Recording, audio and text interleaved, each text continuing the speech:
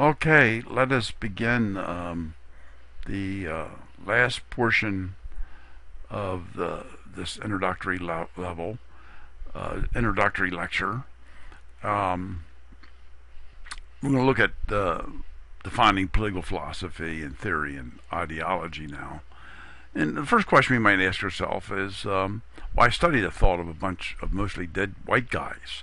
Um, a lot of people uh, who study political theory think that uh, uh, that people who live in the past, sometimes thousands of years ago, mostly white guys, are irrelevant in a um, currently multicultural world in which everything is modern. After all, we have iPads and flat screen TVs and stereo sets and things of, of that sort. How relevant can the ideas of a bunch of old guys be? Well, as I just explained, despite all the changes that are going on, um, uh, philosophy deals with uh, perennial questions. Uh, the questions remain the same. Uh, it's just the answers that uh, change uh, depending on um, circumstances.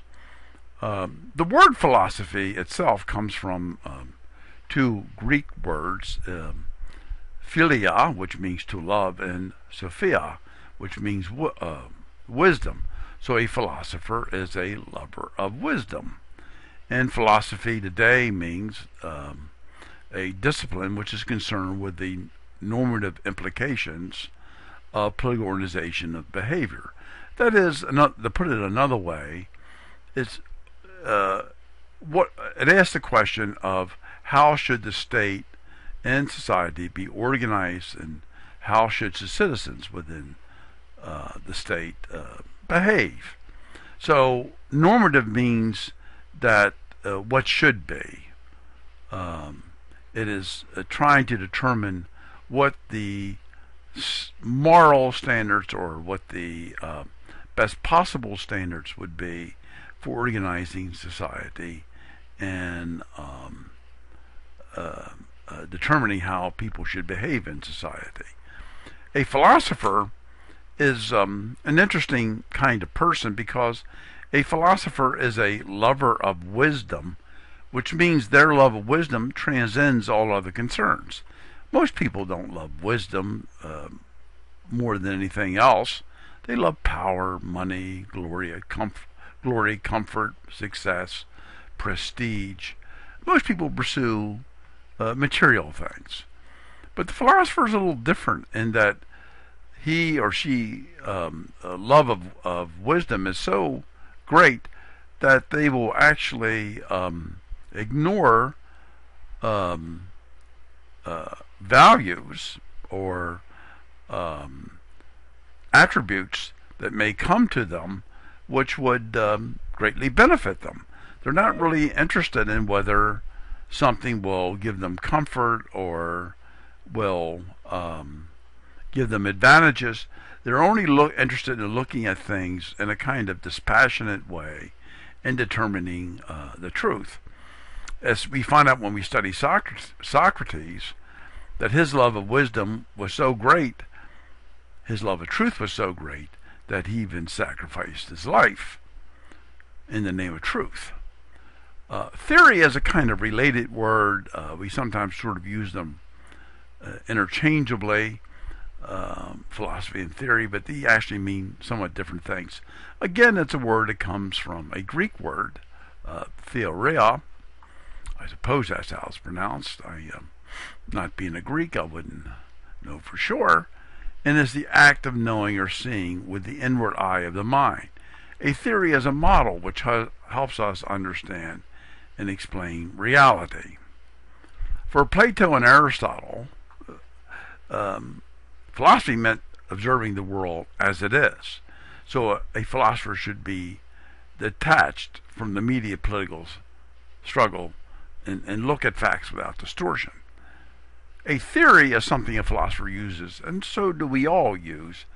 They're, they're sort of models that we have in our mind that helps us organize um, the data, the essential data that we're receiving. For example, every day we hear about the economy. The economy is doing good. It's not so good. It's up. It's down. But yet you can't observe it um, in any kind of physical way because it's a model that we have in our minds where we put together a bunch of um, of um, behaviors and uh, we organize them and say that this explains how the economy is doing. Or we look at government, um, we talk about totalitarian governments, we talk about free governments, we talk about lawful governments.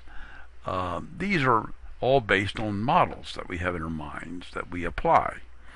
Uh, so we deal with a lot of theories in this class. In fact, um, you're unable to get through life yourself without having theories about things. Just like you have a theory about this college, you have a theory about this class, you have a theory about what you'll learn from your books. Uh, otherwise, you couldn't do anything. Every uh, all reality would just be disorganized events. You you put reality together in some sort of a theory, which helps describe and, and, explain things and, and predict what's going to happen. Now, the difference between a philosopher and an ideologue, which we'll look at in a minute, is that a philosopher understands there's no final answer to any of these eternal questions. Um, it's not like a math course where 2 plus 2 will always equal 4. Um, one of the frustrating aspects of this course is that sometimes um, 2 plus 2 may equal 4.5 or something, or, or 6 or something like that. Um, things change uh, depending on event, events, and people change their minds, they change their outlooks, they change their perspectives on things. History has a lot to do with how we understand uh, reality. So does culture. Um, so you have to understand facts and, and context. Uh, but you try to look at the facts as unbiased as you can, always aware that we are biased by nature. But you have must be self-reflective on this and try to detach yourself from your own partisan interests and look at things as scientifically as possible, knowing that um, we can't be just sort of disembodied intellects viewing reality as, as if we're looking at phenomena through um, a microscope. The difference between a biology class and, and political philosophy class is that uh, you're part of the phenomena that, that you're observing, unlike looking at an amoeba under um, a microscope. You, you, uh, you, can be totally detached from that. Uh, what the amoeba does or behaves has nothing to do with you. But um, uh, whether a, Obamacare works or not uh, is something you have an emotional commitment on, one way or the other. For example, ideology uh, comes from a 18th century term uh, from the um, Enlightenment from the French philosophes. It literally means the science of ideas. They believe that all ideas could be reduced to objective reality and scientifically proven, like mathematical entities. So they believe that uh, society can be governed by an objective, by objective laws of nature. Uh, the same science which enables us to understand the laws of thermodynamics or gravity or something like that can be applied to rational laws, can be applied to uh, enable us to prove that liberty exists, natural rights exist, uh, uh, justice exists. Um, all these basic principles of government can be proven scientifically. Um, so um, ideologues tend to believe that human nature in society can be studied uh, scientifically and there can be rational laws uh, derived from our uh, from data, and so therefore we can reconstruct society according to a, a rational plan. It's just a, a matter of getting enough uh, data on hand, getting enough facts on hand, and then we can use those facts to manipulate um, reality. Ideologues, unlike uh, unlike uh, philosophers, tend to believe that there's an end of history, that uh, there's a final uh, uh, uh, conclusion to everything. That once we arrive at these um, scientific facts, um, there's no changing them. We can never go. Uh, they're true forever, just like uh, the law of gravity is. Uh, that's the difference between an ideologue and a um, philosopher. Now, the question is, as you go through this course, what do you believe? Do you think a um, that human nature is a mixture of good and evil? Do you think people are by nature a um, have a little bit of evil in them, have a little bit of good in them, and it's, and it's rooted in their very nature. Some have a little bit more of good than evil, and vice versa.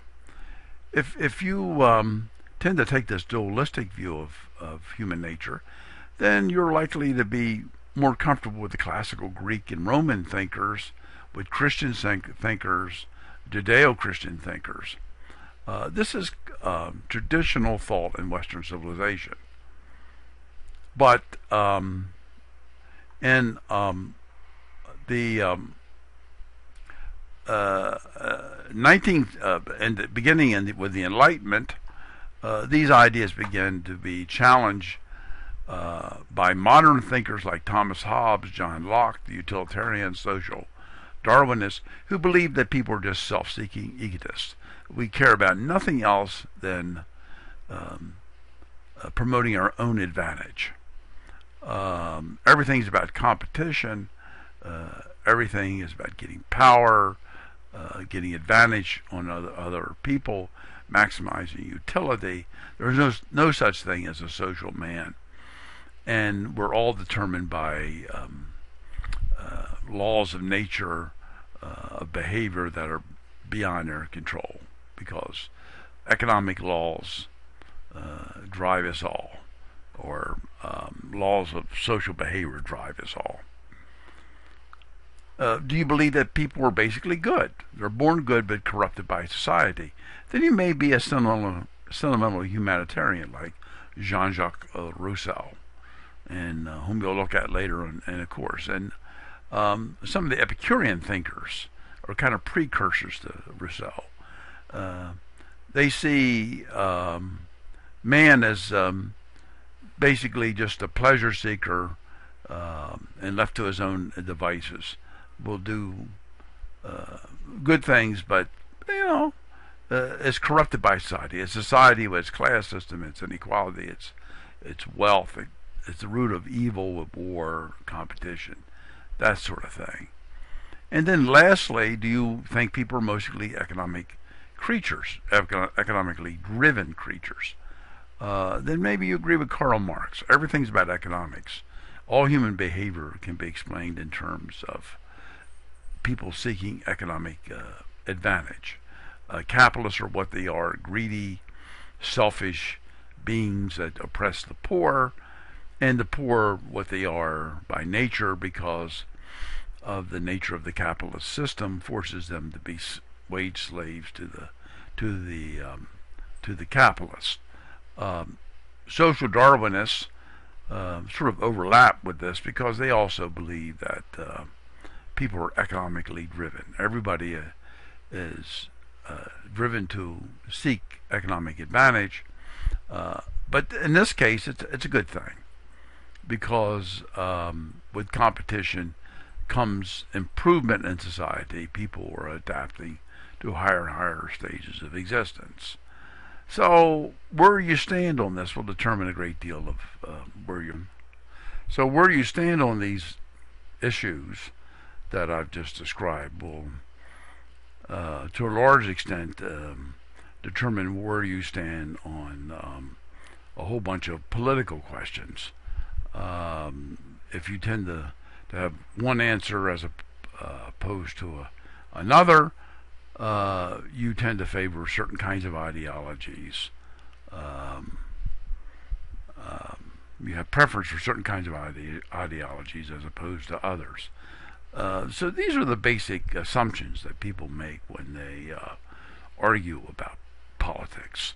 Uh, that will end this portion of um, lecture number one, uh, the introductory lecture, and we'll now go to the ancient Greeks, which will be lecture number two. Uh, so goodbye for now.